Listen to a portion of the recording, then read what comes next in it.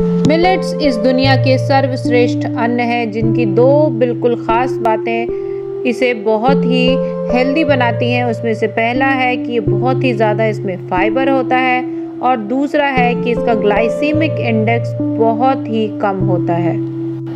Glycaemic index कम होने के कारण ये डायबिटिक पेशेंट्स के लिए बेस्ट फ़ूड है।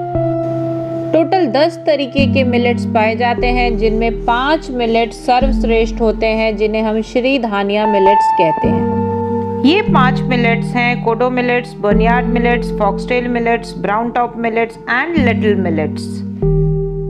आज की ये रेसिपी मैंने बर्नियार्ड मिलेट से बनाई है, लेकिन आप इसी तरीके से बाकी के, जैसे फॉक्सटेल मिलेट्स, कोडो मिलेट्स, उनको भी बना सकते हैं। कंप्लीट रेसिपी के लिए फुल वीडियो देखिए। इस वीडियो को देखने के बाद आप ये जान पाएँगे कि कैसे आप मिलेट्स को भी बहुत ही ज़्यादा टेस्टी तरीके से बना सकते हैं, जिसे बच्चे, घर के बड़े सभी बहुत शौक से खाते हैं। मिलेट्स उपमा बनाने के लिए मैंने यहाँ लिया है बर्नयार्ड मिलेट्स और कुछ कटी हुई सब्ज़ियाँ, जिसमें आपको जो भी पसंद हो वो आप ले सकते हैं। मैंने फ़िलहाल कटी हुई प्याज, टमाटर, गाजर, शिमला मिर्च बेल पेपर और टेस्ट के लिए थोड़ा पनीर लिया है। साथ ही थोड़ी कड़ी पत्ता भी ली है। इसके साथ आप कुछ ग्रीन वेजिटेबल्स भी ले सकते हैं, जैसे कि कटी हुई पालक, हरी धनिया। अब हम एक पैन को गरम करेंगे और उसमें मिलेट्स को रोस्ट कर लेंगे।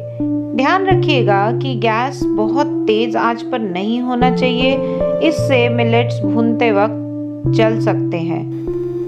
हल्की आँच पर इसे भूनिए और जब इससे एक अच्छी सी भुनने की खुशबू आने लगे तो गैस बंद कर दीजिए और मिलेट्स को ठंडा होने के लिए रख दीजिए। ठंडा होने के बाद हम इस मिलेट को अच्छे से धो लेंगे। इसके बाद छान लीजिए और इसे थोड़ी देर फ्रेश वाटर में सोक करने के लिए रख दीजिए। जब तक ये मिलेट सोक होता है, तब तक हम अपनी वेजिटेबल्स प्रिपेयर कर लेंगे।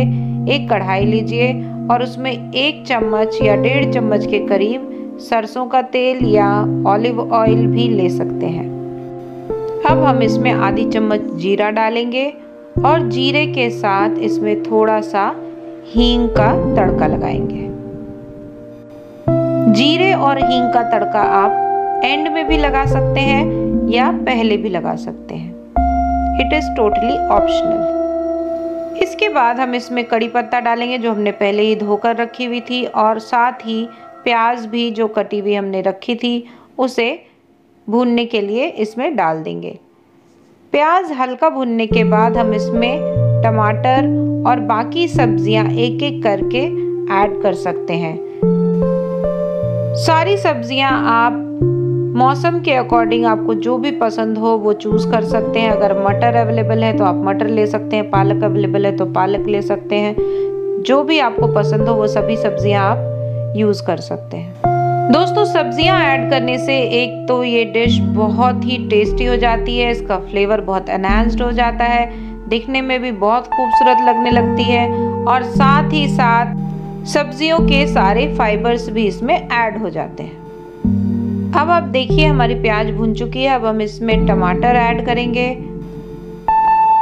टमाटर भूनने के साथ साथ ही हम इसमें अपनी कटी हुई गाजर भी ऐड कर देंगे और इन्हें अच्छी तरीके से भून लेंगे। शिमला मिर्च मैंने अभी नहीं डाली है, क्योंकि शिमला मिर्च शुरू में ही डालने पे बहुत ही ज़्यादा गल जाती है। मैं जनरली शिमला मिर्च और बेल पेपर एंड में ऐड करती हूँ। शिमला मिर्च और बेल पेपर ऐड करने के बाद आप इसे थोड़ा सा और भूनिए। ध्यान रखिए कि ये सारी प्रिपरेशन हमें कम आँच पर करनी है, बहुत तेज़ आँच पर नहीं पकाना है। और लिड से इसे ढक दीजिए। दूसरी तरफ़ हम एक दूसरे पैन में थोड़ा गर्म पानी कर लेंगे। और जो बर्न यार्ड मिलेट्स हमने भिगोने के लिए रखे थे, उसे मिक्सी में डालकर पीस लेंगे। पीसते टाइम हमें ये ध्यान रखना है कि हमें इसका बिल्कुल पतला पेस्ट नहीं बनाना है। हमें इसे सूजी से थोड़ा सा मोटा ही रखना है। पीस कर बनाने से इसका टेस्ट बहुत ही अच्छा हो जाता है और कुक करने में भी आसानी हो जाती है। आप देख सकते हैं मैंने इसे हल्का ही पीसा है। इसका टेक्सचर कुछ इस तरीके से नज़र आएगा। इस तरीके से पीसने पर इसको पकाने में थोड़ी आसानी हो जाती है। अब इसे एक बोल में कलेक्ट कर लें। दूसरी तरफ़ हमारी वेजिटेबल्स अच्छे तरीके से पक कर तैयार हो गई हैं। अब हम इसमें टेस्ट के अकॉर्डिंग रॉक सॉल्ट अगर आपको रेड चिल्ली पसंद है तो रेड चिल्ली और थोड़ा सा टर्मरिक पाउडर ऐड कर लेंगे। साथ ही जो मिलेट्स हमने पीस कर रखी है, वो भी इसमें मिला देंगे और इसे अच्छी तरीके से मिक्स कर लेंगे। मिक्स करने के बाद जो गर्म पानी हमने दूसरे बर्तन में किया था, उस गर्म पानी को इसमें मिलाकर इसे आपस में पका लेंगे। दोस्तों मिलेट्स को पकने में थोड़ा टाइम लगता है, इसलिए इस डिश को बनाने के लिए थोड़ा पेशेंस चाहिए। कम से कम 20 से 25 मिनट तक आपको इसको पकाना पड़ेगा। इसका टेस्ट और भी ज़्यादा अच्छा करने के लिए आप इसमें पनीर ऐड कर सकते हैं। ये टोटली ऑप्शनल है। अगर आपको पनीर यूज़ नहीं करना है तो आप इसे बिना पनीर के भी बना सकते हैं। कम से कम 20 मिनट पकाने के बाद ये कुछ इस तरीके का नज़र आएगा। आप चाहें तो इसमें शुद्ध देसी घी भी ऐड कर सकते हैं। मैं हमेशा ऑर्गेनिक बिलौना घी ही इस्तेमाल करती हूँ, क्योंकि बिलौना घी बहुत ही हेल्दी होता है। मिलेट्स उपमा बनकर तैयार हैं। जितने खूबसूरत ये दिखने में लग रहे हैं, उससे कहीं ज़्यादा ये खाने में टेस्टी है। अगर आपके पास धनिया पत्ता अवेलेबल हो तो आप बारीक कटी हुई धनिया पत्ता इसके ऊपर स्प्रिंकल कर सकते हैं। अब हम इसकी गार्निशिंग करेंगे। गार्निशिंग करने के लिए आप कुछ पनीर के टुकड़े इसके ऊपर सजा दीजिए और साथ ही कड़ी पत्ता आप इसके ऊपर डाल सकते हैं। हमारी tasty healthy millets upma ready है।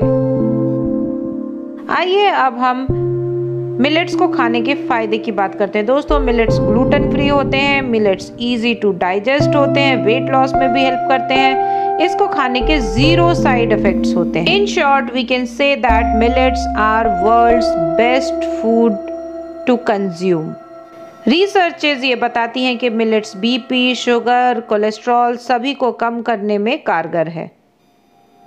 हम सभी को मिलेट्स अपने डेली डाइट में इस्तेमाल करना चाहिए। आई होप आपको आज की वीडियो ज़रूर पसंद आई होगी। अगर पसंद आई तो इसे ज़रूर लाइक कीजिए और चैनल सब्सक्राइब करना बिल्कुल मत भूलिएगा। मिलते हैं जल्दी ही एक और इंटरेस्टिंग वीडियो के साथ। तब तक के लिए अपना ध्यान रखिए।